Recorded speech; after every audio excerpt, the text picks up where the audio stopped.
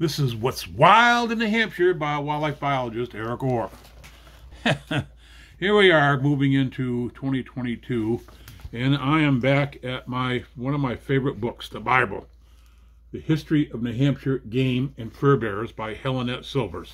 She was a, a biologist back in the maybe the 40s, certainly the 50s and the 60s, before my time when I started with the New Hampshire Fish and Game Department in 1976. So she was just ahead of me, as were many of the folks that I worked with. Most were World War II veterans, as I recall. So, the history of New Hampshire game and fur bearers.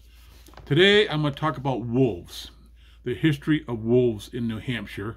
And uh, let's see what she has to say. It's several pages long. So, page 287 of the history of New Hampshire game and fur bearers. It says here, quite prolific and possessing few animal enemies, the wolf Canis lupus lycaon was extremely common in all parts of New England at the time of discovery. It was one of the diver, diverse of diverse colors, some sandy colored, some grizzled, some black. Morton, 1637. Except in the, in the very early days when black wolves were especially valued by the savages, the pelts have, have been of little commercial value. Morton, 1637, wrote that the Indian would gladly exchange 40 beaver skins for the pelt of one black wolf. And Wood, 1634, stated that black wolf was valued by the Indians at five or six pounds sterling. Even in southern New England, where where there were there were less disadvantage from the deep snow, the numbers of deer may have been limited by the less by food less by food scarcity than by the predation of wolves. These prey upon the deer very much. Morton, 1637. Uh, quote, it's not for the common, if, if it were not for the common devourer, the wolf would moose, all moose, although better able to defend themselves, were likewise much devoured. Hare, rabbit, and other small Smaller species were also eaten. The wolf, wolves ranged widely and shifted their range according to the availability of prey species.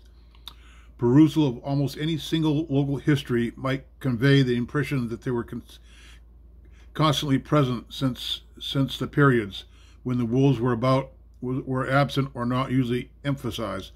Collectively, New Hampshire histories show they occurred periodically, both a result of their wandering and the marked fluctuations in numbers to which they were apparently subject. Records are too sketchy to prove that they were definitely cyclical, but there is a su strong suggestion that they were. Quote, wolves came in swarms. They were not plenty at all times. They seemed to roam over a vast extent of the country, remaining in any one place only a short time.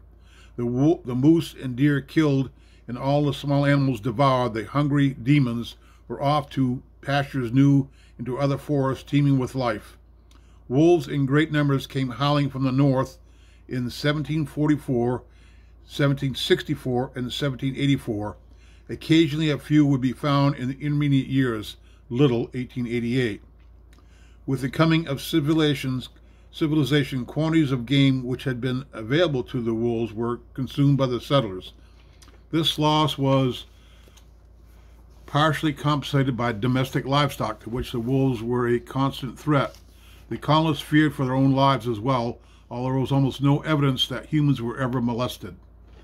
In the White Mountains region, one Indian was said to have been killed and devoured by a starving pack after killing seven of their numbers before he was overpowered. Whitten, 1834. The fact that the carcass of seven wolves were reputedly found intact beside the bones of an Indian cast doubt on the authenticity of this tale. Wolves have no objective objection to eating each other, and it is scarcely credible that the remaining wolves would have retired from the field after picking the Indians' bones, leaving the dead wolves untouched.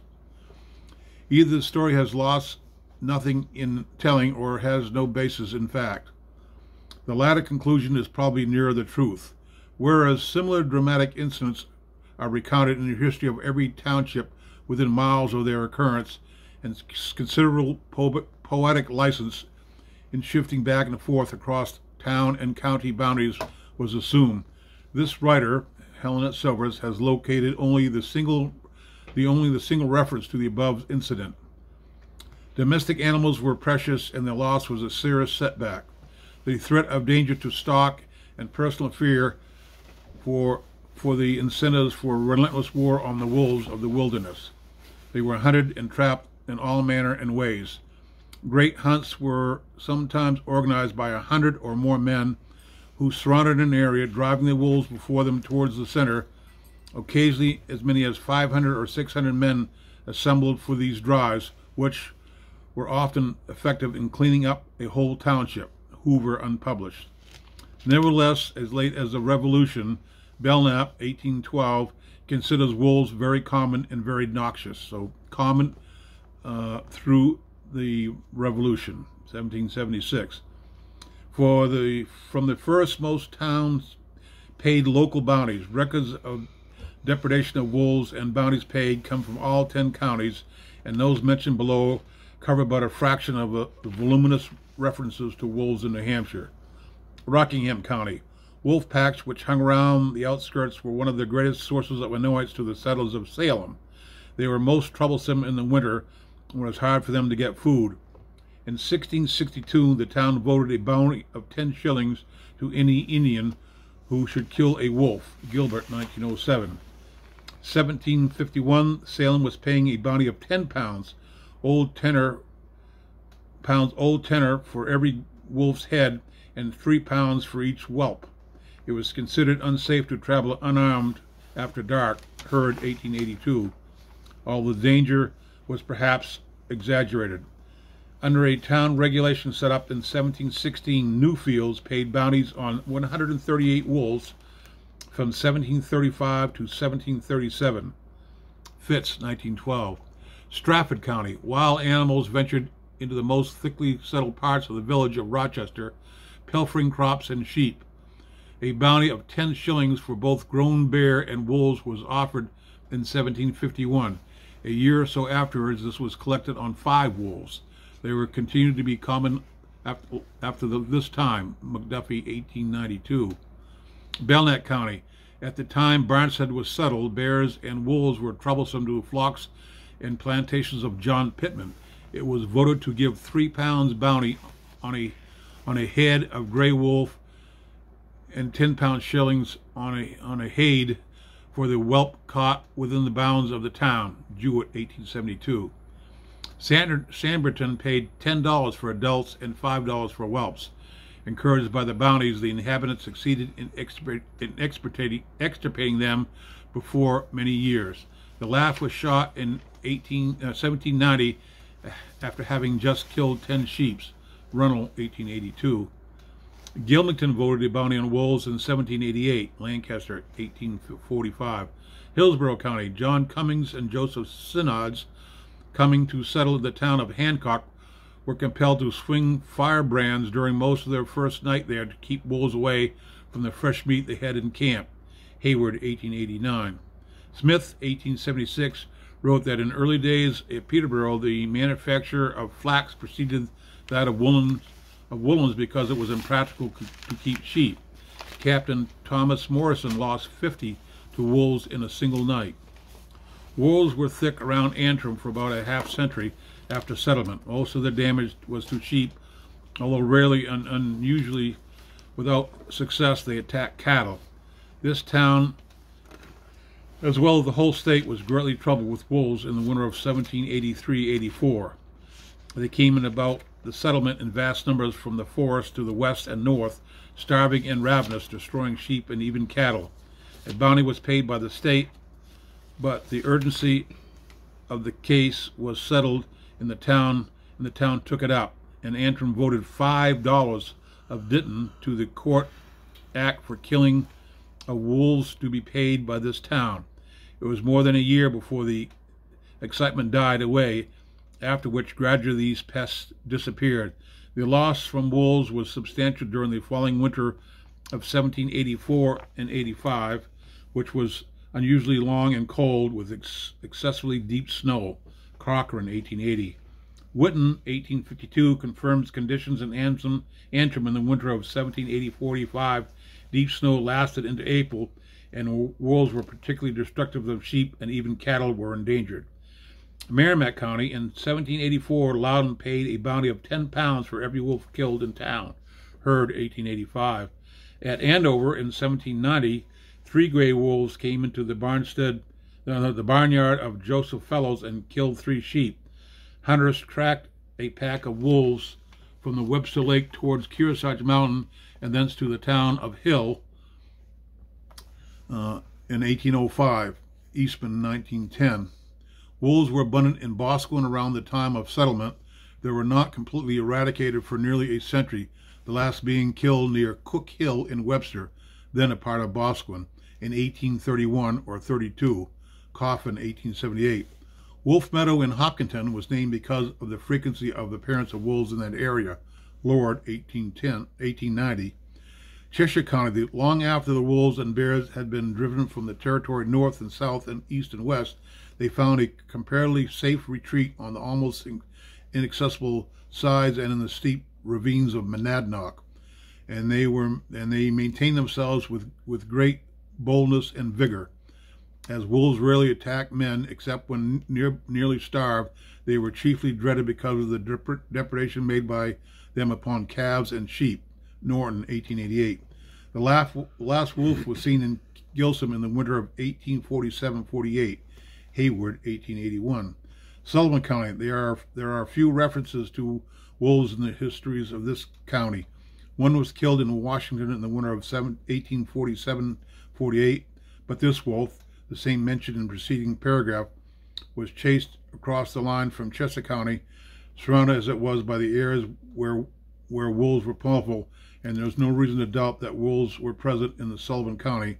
It's much more likely that historians simply failed to mention them. Carroll County, Conway, 1777, voted to pay a bounty of one pound, 10 shillings for adult wolves and four shillings for whelps. In 1816, the town was paying $20 a head. Tamworth was also afflicted with wolves at this period and paid a like sum. Merrill, 1889.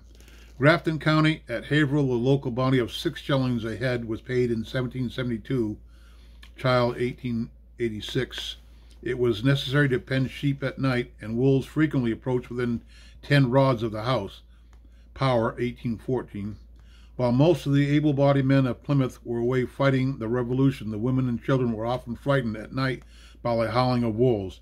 In the neighboring town of Warren, wolves prowled about the houses, sometimes at night, standing with their paws on their windows, windowsills peer, to peer inside. It is noted that Dick French of ben, Benton was a famous wolf hunter. Further north in Lyman, Nathaniel, Nathaniel Partridge was, was treed by a pack of wolves and, and forced to spend the night in a tree. Child, 1888. Raoul Colby settled in Enfield in 1779, encountered wolves on his journey to the township. Coos County, wolves continued here after they had disappeared in other parts of the state. At Randolph, they were reported to have scratched the doors of the pioneer's cabin, Cross 1924, and Peter Gansby, an early settler of Stratford, lost 20 sheep in one night, Thompson 1925.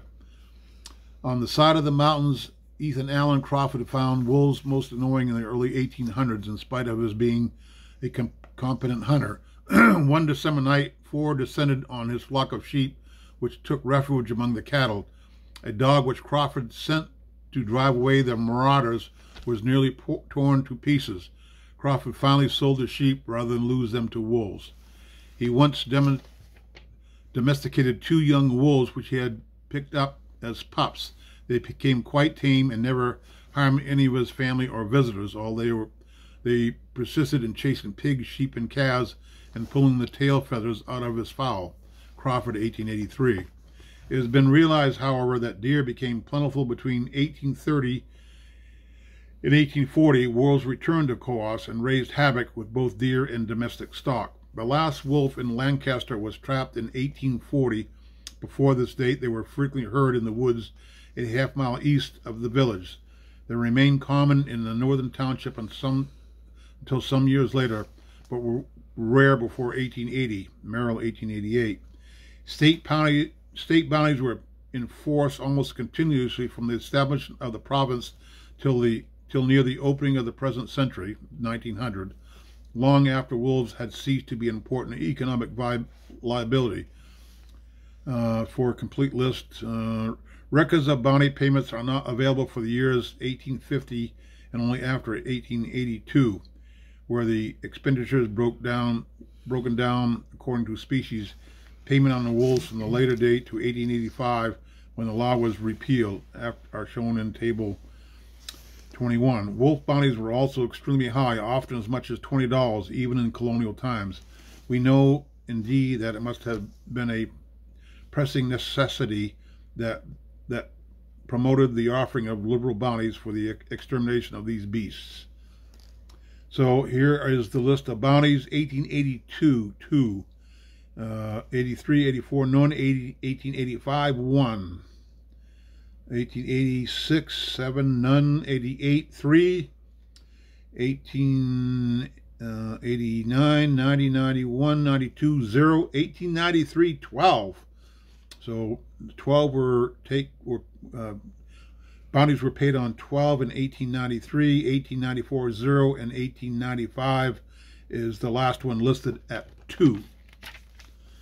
Last couple of three paragraphs here for the effort to expend expended in killing wolves. Sometimes the proceeds of a hunt meant no more than a barrel of rum to refresh the, the hundred or more men who had participated. The concentrated program of eradication must have played a major part in elim eliminating wolves, which, except for human interf interferences, would have ensured their future by increased inroads into domestic flocks and herds. Nevertheless, without the added incentives of bounties, they would have been dispatched as fast as humanly possible. Another factor which must have played important to their extirpation, if only through the bringing them into the vicinity of humans, where they were only where they were easily killed, was a reduction of game population on which they preyed. Deer and many other species reached the lowest level around 1880. It is interesting to note that that this is the date given by most authorities for the disappearance of wolves in New Hampshire although few individuals persisted after this date. So 1880 was when they were essentially extirpated. As late as 1930, one wolf skin was listed on the Trapper's Report, the Hampshire Fish and Game, 1932. Wow. There, there's no information as to its origin, and, and it may not have been correctly identified. The last definite record, then, is two reported taken in 1895, the year the bounty was repealed. There is but one paragraph in her History of New Hampshire Game and Fur Bears about coyotes, and here it is. The coyote was not originally present in the state, and a single specimen is known to have been taken here. This was shot in Holderness on October 24, 1944, by a fox hunter and was identified by Hilbert R. Siegler, Chief of the Management and Research Division of the Fish and Game Department, and Stanley P. Young of the Fish and Wildlife Service. A year later, one was reported to have been observed near Berlin on York, York Pond Road. So there were no coyotes. This book was was uh, printed in the mid 50s, and there were but one report or two reports of coyotes by the mid 1950s here in New Hampshire. That is the end of the history of wolves in New Hampshire.